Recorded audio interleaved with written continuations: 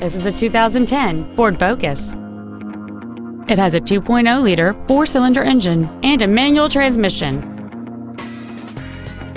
Its top features include heated front seats, a rear split bench seat, cruise control, alloy wheels, the SecuriLock anti-theft system, 12-volt power outlets, tinted glass, a low tire pressure indicator, an auto-dimming rearview mirror, and this vehicle has fewer than 41,000 miles on the odometer.